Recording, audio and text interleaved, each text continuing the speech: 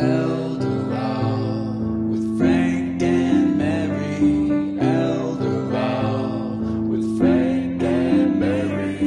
Yeah. Frank, Frank, hurry. Mr. Bergeron's on. Don't forget the popcorn, Frank. Coming, dear.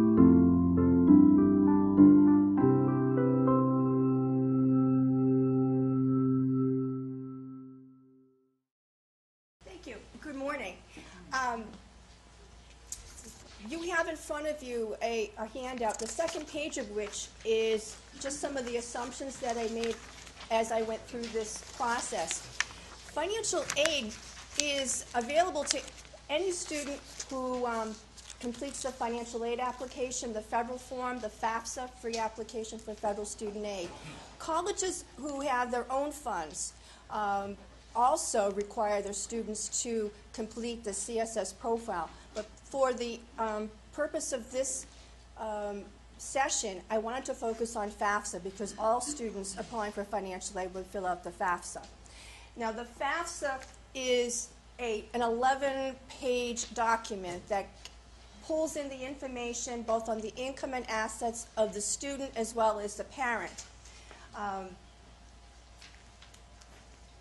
so you see uh, gross income, um, some of the particular assets on the bottom, uh, the investments, which include the uh, parents' uh, retire, not the retirement, but secondary um, real estate, um, any other investments that the parents have.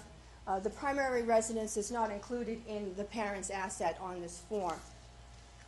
So what the financial aid offices do is they get the, the output information from the FAFSA, which includes the expected family contribution.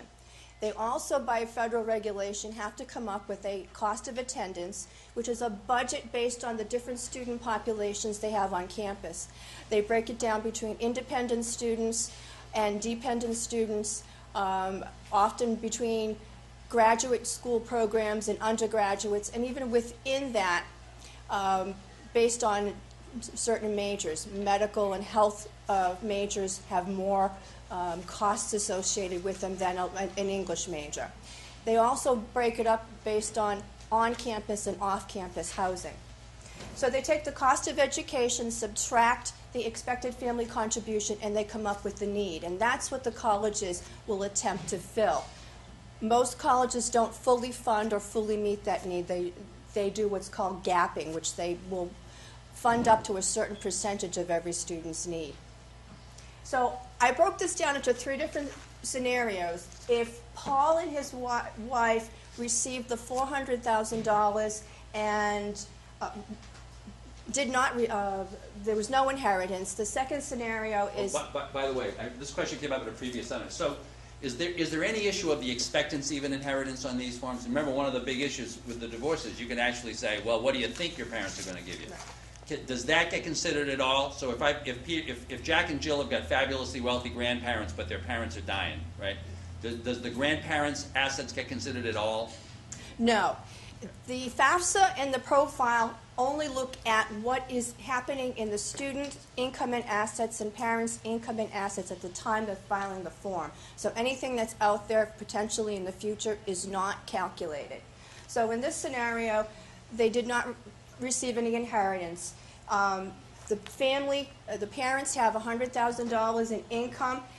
In the formula, the federal formula considers 35,000, a little over that, for um, from the income that can be applied and used for education. Because they have two in the kids in the family that are going to college at the same time, that gets divided up. So only 17,624 is considered for um, the son as well as the daughter. So if the two of them weren't going to college, would all thirty-five thousand be Right, considered? If so, right. if Jill had been uh, like a year younger than Jack, and only one of them were going in, Right. I see. Because this gets reconsidered once once a year. Right. They, you apply once a year. And, and, and is the thirty-five thousand is that like a fixed, like a cap number, or is that a percentage of what their actual incomes are? It's a percentage, and it's based on a number of factors, including the age of the oldest parent. In this scenario, I've used the age 55 for the, for the father, so it's going to be based on the father's um, age.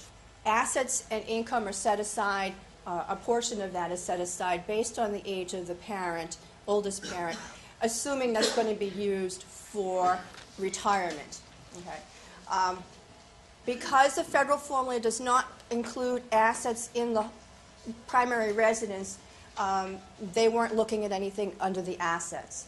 With the student, And, and- and is that because there's a, there's a given amount of assets below which they just zero it out? Because they did have some assets. They had, they had an IRA, they had some, some cash. right, the other assets were not included because of the age of, of the, the parent in, in the set aside. With the student, I gave him $5,000 of income and $2,000 of assets. In the formula, it did not look at the $5,000 of income, and it only took $400 of the $2,000 that the student had in savings. So you add the 17,624 and the 400, and you get the 18,000 expected family contribution for that scenario, for that, for that one student. In the second scenario, I assume that the parents inherited the, the full four hundred thousand dollars. So you have the same income information. Uh, again, th- it's split based on the two in family.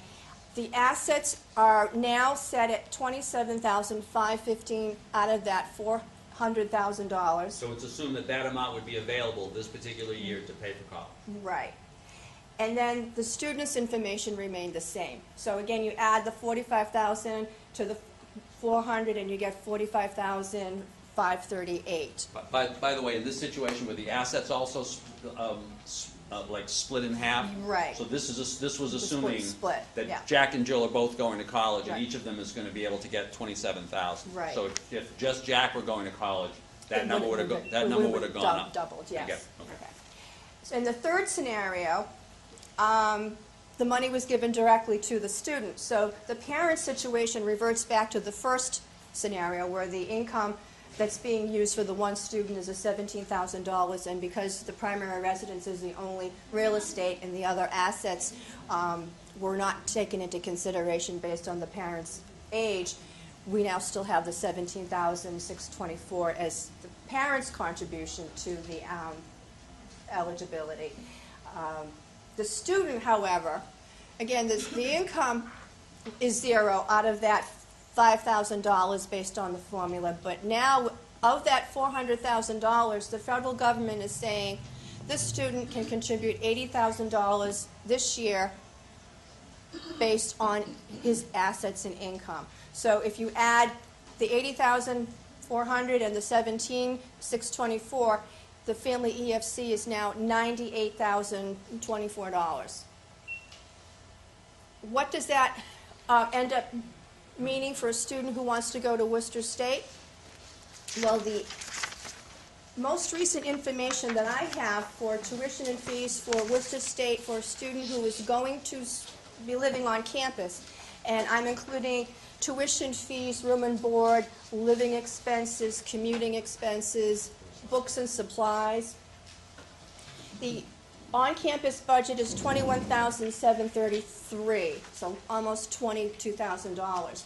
The first scenario, we had eighteen thousand dollars EFC, so there would be some eligibility for financial aid. The second scenario, the um, EFC expected family contribution was about forty-five thousand dollars, so this student would only be eligible for federal student loans. Um, and in the third scenario, um, the student would, would not be eligible for anything but student loans and federal student loans and private loans. If the student was going to Harvard, the most recent information on Harvard's uh, tuition, room and board, living on campus is $56,000. So in the first scenario, there'd be plenty of eligibility for financial aid. As an aside, Harvard on average gives out $44,000 a year uh, for an incoming freshman for financial aid. Um, that doesn't mean every student is going to get financial aid. It depends on who gets to complete their application first and is first to be reviewed, because financial aid is given out on a first-come, first-served basis.